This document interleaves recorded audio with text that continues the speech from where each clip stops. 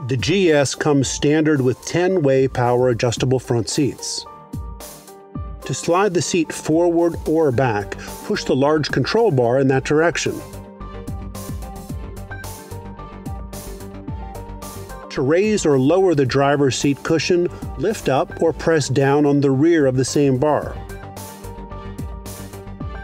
To change the angle of the seat cushion, lift or press down the front of the control bar.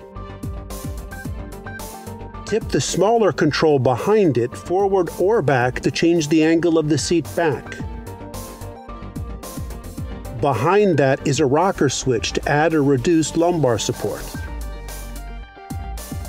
The F Sport model adds driver seat four-way lumbar support, seat bolster adjustments to increase or decrease lateral support, and seat cushion length adjustment. The available luxury package includes 18 way power front seats and adds an adjustment for the angle of the upper seat back to help support your shoulders.